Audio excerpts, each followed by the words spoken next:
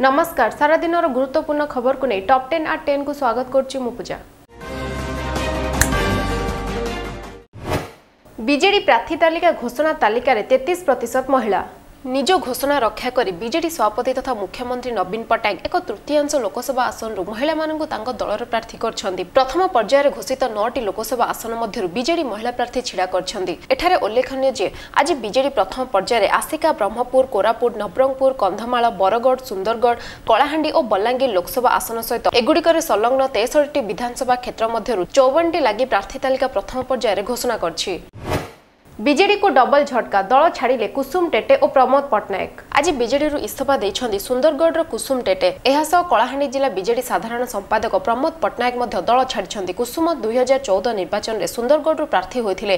ଚଳିତ ବର୍ଷ ଦଳର ପ୍ରାର୍ଥୀ ଚୟନକୁ ନେଇ ସେ ଅସନ୍ତୋଷ ଥିବାରୁ ଇସ୍ତଫା ଦେଇଛନ୍ତି ବୋଲି କାରଣ ଦର୍ଶାଇଛନ୍ତି। ସେହିଭଳି ପ୍ରମୋଦ ମଧ୍ୟ ଦଳ ଛାଡ଼ିଛନ୍ତି। ତାଙ୍କୁ ଜୁନାଗଡ଼ ଟିକେଟ୍ ନ ମିଳିବାରୁ ସେ ଅସନ୍ତୁଷ୍ଟ ହୋଇ ଦଳର ପ୍ରାଥମିକ ସଦସ୍ୟ ପଦରୁ ଇସ୍ତଫା ଦେଇଛନ୍ତି।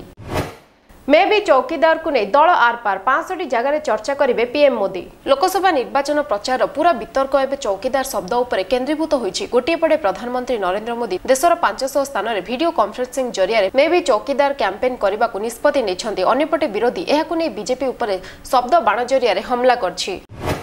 ସେପଟେ ମୋଦିଙ୍କ ଚୌକିଦାର ପ୍ରଚାରକୁ ଥଟ୍ଟା କରି ଟ୍ୱିଟରରେ ନିଜ ନାମ ପୂର୍ବରୁ ବେରୋଜଗାର ଲେଖିଲେ ହାର୍ଦ୍ଦିକ ପଟେଲ। କଂଗ୍ରେସରେ ନୂଆ କରି ଯୋଗ ଦେଇଥିବା ହାର୍ଦ୍ଦିକ ପଟେଲ ସୋମବାର ତାଙ୍କ ଟ୍ୱିଟର ଆକାଉଣ୍ଟର ନାମ ପରିବର୍ତ୍ତନ କରି ବେରୋଜଗାର ହାର୍ଦ୍ଦିକ ପଟେଲ କରିଦେଇଛନ୍ତି। ସେ ବିଜେପିର ମେ ବି ଚୌକିଦାର ପ୍ରଚାରକୁ ଥଟ୍ଟା କରି ଏପରି ଲେଖିଛନ୍ତି। ନିକଟରେ କଂଗ୍ରେସ ରାହୁଲ ଗାନ୍ଧୀଙ୍କ ଉପସ୍ଥିତିରେ ଦଳରେ ଯୋଗ ଦେଇଥିବା ହାର୍ଦ୍ଦିକ ତାଙ୍କ ଟ୍ୱିଟର ଆକାଉଣ୍ଟରେ ଏପରି ଲେଖି ଏବେ ଚର୍ଚ୍ଚା ପାଲଟିଛନ୍ତି। ପ୍ରିୟଙ୍କା ଗାନ୍ଧୀଙ୍କ ପୂର୍ବାଞ୍ଚଳ ଗସ୍ତ ବିନ୍ଧ୍ୟବାସିନୀ ମନ୍ଦିରରେ ପହଞ୍ଚିବା ପରେ ଲାଗିଲା ମୋଦି ମୋଦି ନାରା ଲୋକସଭା ନିର୍ବାଚନ ଦୁଇ ହଜାର ଉଣେଇଶକୁ ନଜର ରଖି ପ୍ରିୟଙ୍କା ଗାନ୍ଧୀ ପୂର୍ବାଞ୍ଚଳ ଗସ୍ତ କରିଛନ୍ତି। ପ୍ରିୟଙ୍କା ଗାନ୍ଧୀ ସୋମବାର ଦିନରେ ପ୍ରୟାଗରାଜରେ ଏବଂ ରାତିରେ ଭଦୋହିରେ ରହିଥିଲେ। ସେହିପରି ମଙ୍ଗଳବାର ସାରା ଦିନ ପ୍ରିୟଙ୍କା ଗାନ୍ଧୀ ମିର୍ଜାପୁରରେ ରହିବେ। ମଙ୍ଗଳବାର ଅପରାହ୍ନ ତିନିଟାରେ ପ୍ରିୟଙ୍କା ଗାନ୍ଧୀ ବିନ୍ଧ୍ୟବାସିନୀ ମନ୍ଦିରରେ ପହଞ୍ଚିଥିଲେ ଯେଉଁଠାରେ ସେ ପୂଜା ଅର୍ଚ୍ଚନା କରିଥିଲେ। ଏହା ମଧ୍ୟରେ ବାହାରେ ଛିଡ଼ା ହୋଇଥିବା ଶ୍ରଦ୍ଧାଳୁ ମାଙ୍କ ଜୟକାର କରିବା ସହ ମୋଦି ମୋଦି ନାରା ଲଗାଇଥିଲେ। ବେଦାନ୍ତ ଉତ୍ତେଜନାରେ ପରିଚାଳକଙ୍କ ନାଁରେ ହତ୍ୟା ମାମଲା ରୁଜୁ କରିବାକୁ ଦାବି କଲେ ସମାଜସେବୀ। କଳାହାଣ୍ଡି ଜିଲ୍ଲା ଲାଞ୍ଜିଗଡ଼ ବେଦାନ୍ତ ଆଲୁମିନା ସମ୍ମୁଖରେ ଆନ୍ଦୋଳନ ପୋଲିସ ଓ ଶ୍ରମିକଙ୍କର ମୁହାଁମୁହିଁ ହୋଇଥିଲା। ପୋଲିସ ଲାଠିଚାର୍ଜରେ ସୃଷ୍ଟି ହୋଇଥିବା ପରିସ୍ଥିତି ନୂଆ ମୋଡ଼ ନେଇଛି। ବେଦାନ୍ତ କମ୍ପାନୀ ପରିଚାଳକଙ୍କ ନାଁରେ ହତ୍ୟା ମାମଲା ରୁଜୁ କରାଯାଉ ବୋଲି ସମାଜସେବୀ ପ୍ରଫୁଲ୍ଲ ସାମନ୍ତରା ପ୍ରତିକ୍ରିୟା ଦେଇଛନ୍ତି। ଟପ୍ ଟେନ୍ରେ ସମୟ ହୋଇଛି ଛୋଟ ବିରତିର। ମୟୂରଭଞ୍ଜ ଜିଲ୍ଲାର ବଡ଼ସାହି ବିବେକାନନ୍ଦ ବିହାରଠାରେ ତ୍ରିଦିବସୀୟ ଶାରଦୀୟ କାର୍ଯ୍ୟକ୍ରମ ଅଣଚାଳିଶତମ ବାଣୀପୀଠ ମହୋତ୍ସବ ମାର୍ଚ୍ଚ ଅଣତିରିଶ ତିରିଶ ଏକତିରିଶ ତାରିଖରେ ଅନୁଷ୍ଠିତ ହେଉଛି। ଅଣତିରିଶ ତାରିଖ ଶୁକ୍ରବାର ସକାଳ ଦଶଟାରେ ଉଦ୍ଘାଟନ ସମାରୋହ ଓ ଦିବସବ୍ୟାପୀ ରାଜ୍ୟସ୍ତରୀୟ ଶିଶୁମେଳା ଅନୁଷ୍ଠିତ ହେବ। ତିରିଶ ତାରିଖ ଶନିବାର ବିବେକାନନ୍ଦ ଶିକ୍ଷା କେନ୍ଦ୍ରର ଉଣେଇଶତମ ବାର୍ଷିକ ଉତ୍ସବ ଓ ଅଭିଭାବକ ମେଳା ଅନୁଷ୍ଠିତ ହେବ।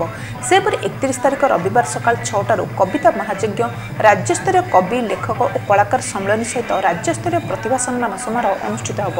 ଏଥିରେ ଓଡ଼ିଶା ତଥା ଓଡ଼ିଶା ବାହାରୁ ବହୁ କବି ଲେଖକ ଓ କଳାକାର ଯୋଗଦାନ କରୁଥିବା ବେଳେ ଚଳିତ ବର୍ଷର ବାଣୀପୀଠ ପୁରସ୍କାର ଏକ ଲକ୍ଷ ଟଙ୍କାର ପଲିସି ବଣ୍ଡ କଟକର ଡକ୍ଟର ହୁସେନ ରବି ଗାନ୍ଧୀଙ୍କୁ ପ୍ରଦାନ କରାଯାଉଛି।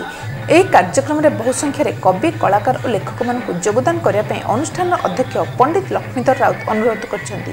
ଯୋଗାଯୋଗ କରିବାର ଠିକଣା ହେଲା ନଅ ଆଠ ପାଞ୍ଚ ତିନି ତିନି ତିନି ଆଠ ସାତ ଚାରି ଏକ ଓ ନଅ ଆଠ ଛଅ ଏକ ଆଠ ଏକ ଦୁଇ ଶୂନ ଶୂନ ଶୂନ।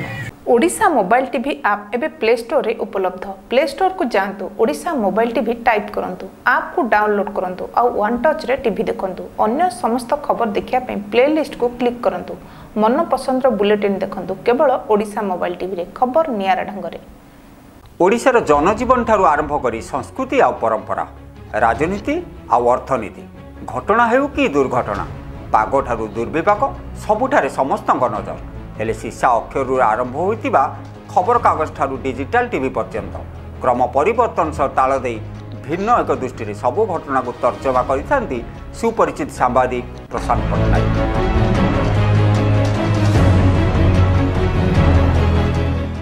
ଓଡ଼ିଶାର ଅତୀତ ବର୍ତ୍ତମାନ ଓ ଭବିଷ୍ୟତ ସମ୍ପର୍କରେ ଉପସ୍ଥାପନ କରିବେ ସାମ୍ବାଦିକ ପ୍ରଶାନ୍ତ ପଟ୍ଟନାୟକ। କେବଳ ତୃତୀୟ ନୟନରେ ପ୍ରତି ମଙ୍ଗଳବାର ଗୁରୁବାର ଓ ଶନିବାର କେବଳ ଓଡ଼ିଶା ମୋବାଇଲ ଟିଭିରେ ବିରତି ପରେ ସ୍ୱାଗତ ଏସିଡ୍ ଆଟାକ୍ ହେଉଛି ନିର୍ମମ ଅପରାଧ କ୍ଷମାଯୋଗ୍ୟ ନୁହେଁ ବୋଲି ରାୟ ଦେଲେ ସୁପ୍ରିମକୋର୍ଟ ଏସିଡ୍ ଆଟାକକୁ ଅସଭ୍ୟ ଓ ନିର୍ମମ କହିବା ସହ ଏହି ଅପରାଧ ଅକ୍ଷମଣୀୟ ବୋଲି କହିଛନ୍ତି ସୁପ୍ରିମକୋର୍ଟ। ସର୍ବୋଚ୍ଚ ଅଦାଲତ ଦୁଇ ଦୋଷୀଙ୍କୁ ପୀଡ଼ିତା ଝିଅମାନଙ୍କୁ ଅତିରିକ୍ତ ଦେଢ଼ ଦେଢ଼ ଲକ୍ଷ ଟଙ୍କା ଅନୁକମ୍ପା ରାଶି ଦେବାକୁ ଆଦେଶ ଦେବା ସହ ଏହି ଟିପ୍ପଣୀ କରିଛନ୍ତି। ଦୁଇ ଦୋଷୀ ବର୍ଷ ଦୁଇ ହଜାର ଚାରିରେ ଉଣେଇଶ ବର୍ଷିଆ ବାଳିକା ଉପରେ ଏସିଡ୍ ଆକ୍ରମଣ ମାମଲାରେ ପାଞ୍ଚ ବର୍ଷ ଧରି ଜେଲରେ ରହିସାରିଛନ୍ତି। କୋର୍ଟ ହିମାଚଳ ପ୍ରଦେଶ ସରକାରଙ୍କୁ ମଧ୍ୟ ପୀଡ଼ିତାଙ୍କୁ ଅନୁକମ୍ପା ରାଶି ଯୋଜନାରେ ଅନୁକମ୍ପା ରାଶି ଦେବାକୁ ନିର୍ଦ୍ଦେଶ ଦେଇଛନ୍ତି। ମହାରାଷ୍ଟ୍ରରେ ନିର୍ବାଚନ ଲଢ଼ିବା ପାଇଁ ମେଣ୍ଟ ଘୋଷଣା କଲେ ସମାଜବାଦୀ ପାର୍ଟି ଓ ବହୁଜନ ସମାଜ ପାର୍ଟି। ଉତ୍ତରପ୍ରଦେଶ ମଧ୍ୟପ୍ରଦେଶ ଓ ଉତ୍ତରାଖଣ୍ଡ ପରେ ଏବେ ମହାରାଷ୍ଟ୍ରରେ ସମାଜବାଦୀ ପାର୍ଟି ଓ ବହୁଜନ ସମାଜବାଦୀ ପାର୍ଟି ମେଣ୍ଟ ଘୋଷଣା କରିଛନ୍ତି। ଦୁଇ ଦଳ ମଧ୍ୟରେ ହୋଇଥିବା ଆସନ ବୁଝାମଣା ଅନୁସାରେ ଉଭୟ ଦଳ ରାଜ୍ୟର ଅଡ଼ଚାଳିଶଟି ଆସନରେ ନିଜର ପ୍ରାର୍ଥୀ ଦେବେ। ତେବେ ଏବେ ସୁଦ୍ଧା ଆସନ ବୁଝାମଣା ଚୂଡ଼ାନ୍ତ ହୋଇନାହିଁ। ଆସନ ବୁଝାମଣା ପାଇଁ ଦୁଇ ଦଳ ମିଶି ଏକ କମିଟି ଗଠନ କରିଛନ୍ତି ବୋଲି ସମାଜବାଦୀ ପାର୍ଟି ନେତା ଆବୁ ଆଜାମି କହିଛନ୍ତି। ଦ୍ୱିତୀୟ ପର୍ଯ୍ୟାୟ ନିର୍ବାଚନ ପାଇଁ ପ୍ରକାଶ ପାଇଲା ବିଜ୍ଞପ୍ତି। ଆଜି ରାଜ୍ୟ ମୁଖ୍ୟ ନିର୍ବାଚନ ଅଧିକାରୀଙ୍କ କାର୍ଯ୍ୟାଳୟ ପକ୍ଷରୁ ଦ୍ୱିତୀୟ ପର୍ଯ୍ୟାୟ ନିର୍ବାଚନ ପାଇଁ ବିଜ୍ଞପ୍ତି ପ୍ରକାଶ ପାଇଛି। ଦ୍ୱିତୀୟ ପର୍ଯ୍ୟାୟ ନିର୍ବାଚନ ପାଇଁ ବିଜ୍ଞପ୍ତି ପ୍ରକାଶ ପାଇବା ସହିତ ଆଜିଠାରୁ ଏଥିପାଇଁ ପ୍ରାର୍ଥୀପତ୍ର ଦାଖଲ ପ୍ରକ୍ରିୟା ଆରମ୍ଭ ହେବ ବୋଲି ଜଣାଯାଇଛି। ଦ୍ୱିତୀୟ ପର୍ଯ୍ୟାୟରେ ପ୍ରାର୍ଥୀପତ୍ର ଦାଖଲ କରିବାର ଶେଷ ତାରିଖ ହେଉଛି ମାର୍ଚ୍ଚ ଛବିଶ। ମାର୍ଚ୍ଚ ସତେଇଶ ତାରିଖରେ ପ୍ରାର୍ଥୀପତ୍ର ଯାଞ୍ଚ କରାଯିବ ଏବଂ ଅଣତିରିଶ ହେଉଛି ପ୍ରାର୍ଥୀପତ୍ର ପ୍ରତ୍ୟାହାର କରିବାର ଶେଷ ତାରିଖ। ସହଯୋଗ କରୁନଥିବାରୁ ରବର୍ଟ ଭଦ୍ରାଙ୍କୁ ରିମାଣ୍ଡରେ ନେବାକୁ ଚାହୁଁଛି ଇଡି।